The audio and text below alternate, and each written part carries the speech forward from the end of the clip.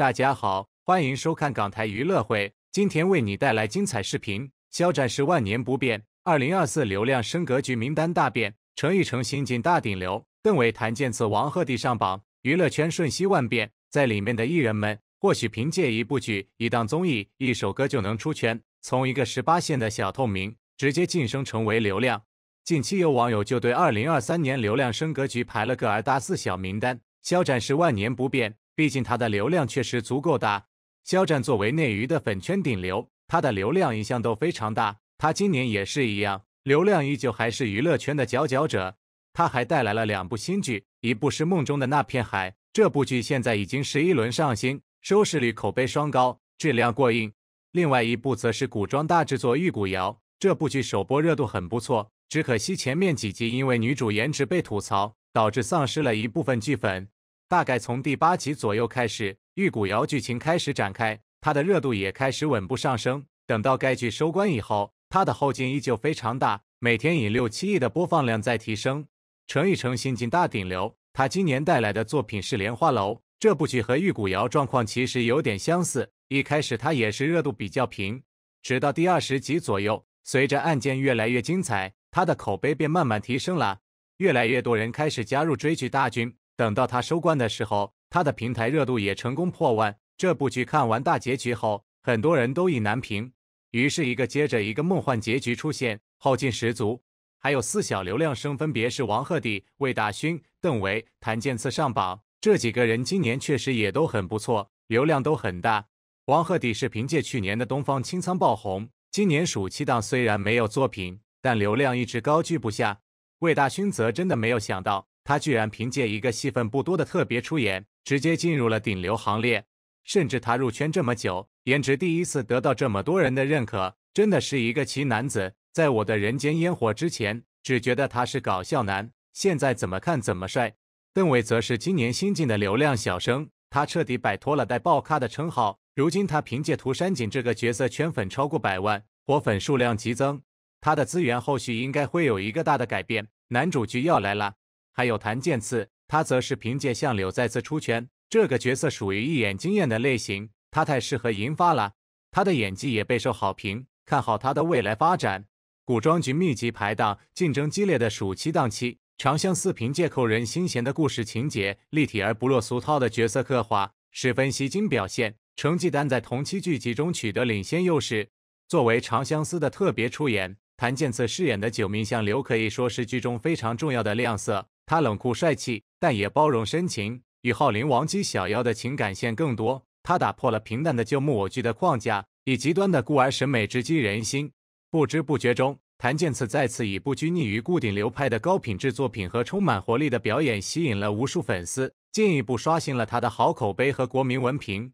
九命相柳多维度出现在圈内，谭健次迎来人气爆发期。数据是衡量一部剧受欢迎与否最直观的工具。在大制作、大 IP 齐聚、内部介入严重的暑期档，《长相思》以优质内容精准满足了观众对剧集的需求，人气势不可挡，沉沉获得同期第一名。剧集的火爆离不开演员们的互补成就，可以说《长相思》中的每一对 CP 都充满了火花，张力十足。其中，谭健次饰演的相柳与女主角之间的气氛尤为浓厚，让剧迷们十分敬佩，也成为了该剧用户粘性的主要来源。这种积极的反馈得益于谭健次轻松自然的演技和细腻准确的人物刻画。像柳国 InK 角色自上线以来，新媒体指数不断提升，八月十日后稳定在九以上。在被视为舆论枢纽的微博上，剧集播出后，有关谭健次和相柳的讨论不断发酵。主话题谭健次要名阅读量达六十五点一亿次，内容主要围绕人物设计、剧情和演技细节。网友们用放大镜一帧一帧的批评演员的表现力，这无疑表明了大家对谭健次业务能力的认可以及对角色的喜爱。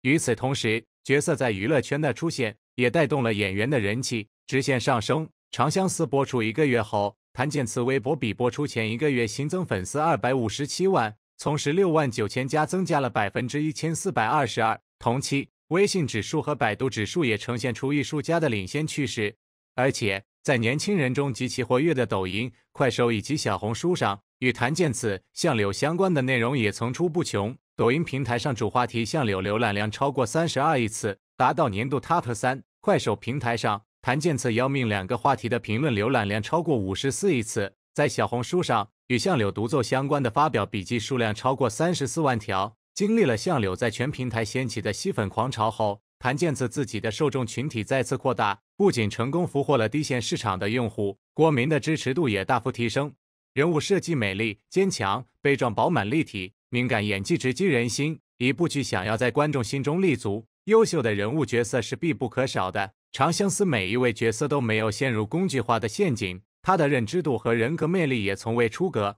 其中，谭健次饰演的相柳虽然不是女主角小妖的官方搭档，但以其完整的故事情节和复杂的人物弧线，赢得了观众最多的悲痛和悲伤。作为灵力极高的九头蛇恶魔，相柳体内仙气与邪气并存，带来了神秘的诱惑。童年在斗兽场险些丧命的经历，让他看到了人心的狡诈，也塑造了他性格坚强、占主导地位、无情。但遇到同样经历坎坷的小妖后，相柳冰冷孤独的外壳终于炸开，不受控制的露出柔软、细腻甚至火热的一面。但作为陈荣的军师，为了报答救命恩人洪江，还清正义，相柳注定要站在小妖生命的另一边，所以他选择默默为自己所爱的人付出，准备好种植的。带着情人之毒开始小辈防风引导他畅游人间，并教小妖射箭让他自保。在确认自己有更好的命运后，毅然独自走向注定的结局。相柳看似迷人不羁的外在性格，与他面对小妖时表现出的养育、克制和隐忍形成了鲜明的对比。这种反差不仅让观众欣赏到相柳默默付出、不求任何回报的神般奉献，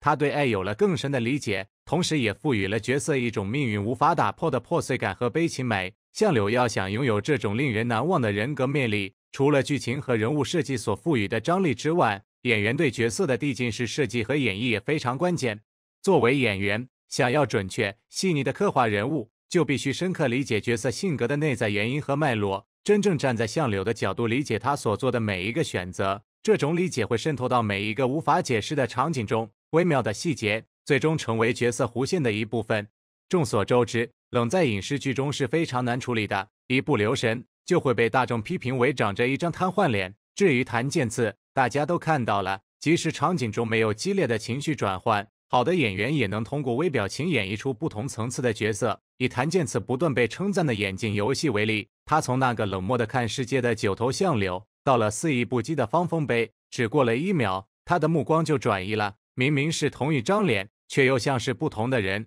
相柳每次面对小妖。爱情都快要爆发，只能压抑内心的挣扎。这一切都在转瞬即逝的一瞥中显现出来。好了，今天的视频就分享到这里了，更多精彩资讯尽在港台娱乐会，敬请关注哦。